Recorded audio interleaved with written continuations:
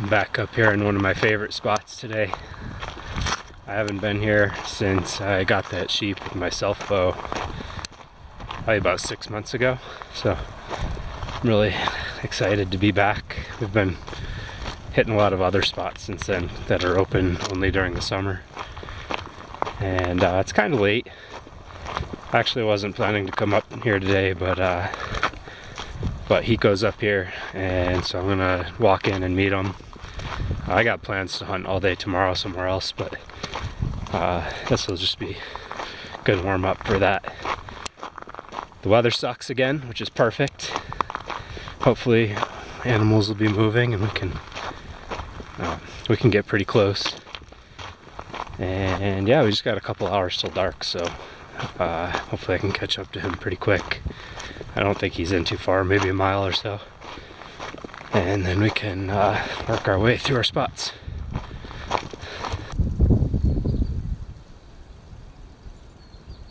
It's misty and it's cold, which really gets the animals moving. I'm all layered up.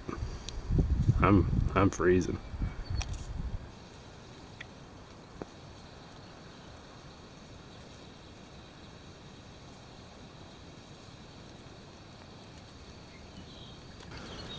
Hiko just texted me and said he sees some sheep up where he is.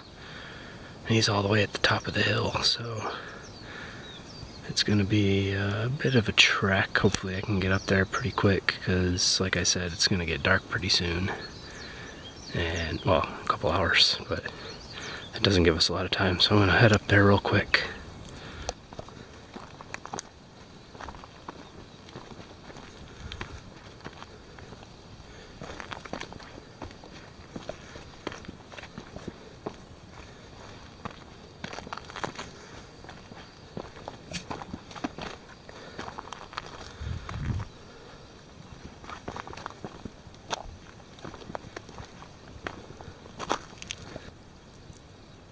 Oh, hello berries. Hawaii endemic, related to cranberries and blueberries. I'm coming up to a spot where the lava meets the forest, and then it's grassy up above. And a lot of times I see them hanging out up in the top. Just right up that way a little bit. So I'm gonna sneak along the edge here and peek my head over the rocks and see if I see anything. If not, I'll keep heading up to Hiko. Hey, look, I found a shed from a three point buck. I see some sheep up through here. I just saw a big ram, and then I think a ewe. Right through that clearing. You can't see him on the camera now, but I'll try to get a shot of one.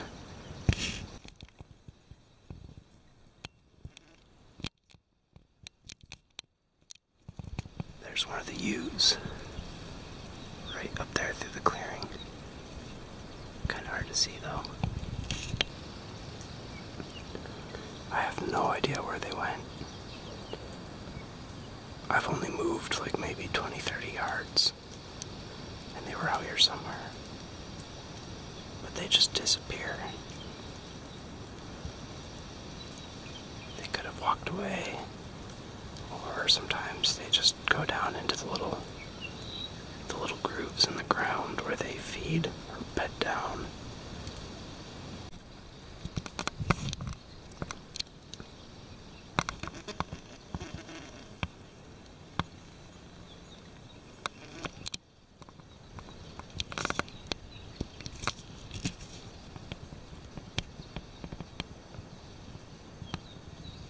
That you only had three legs.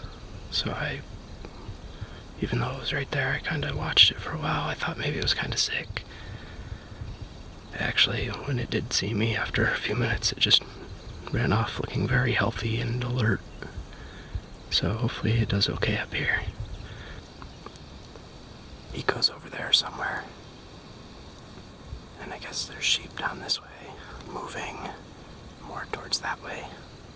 So I'm gonna catch up with him now I caught up with Hiko. And he, we just saw a huge ram, so we're gonna sneak up to it.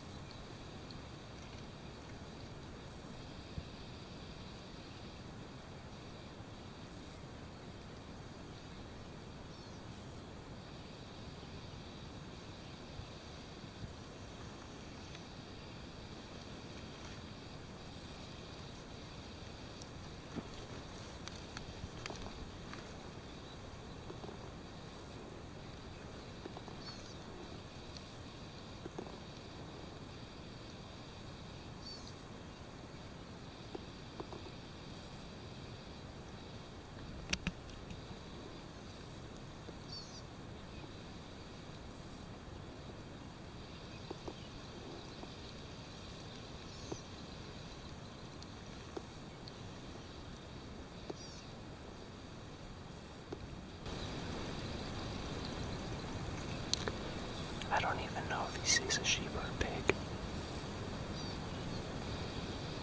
But I can hear it eating on the other side of the rock here.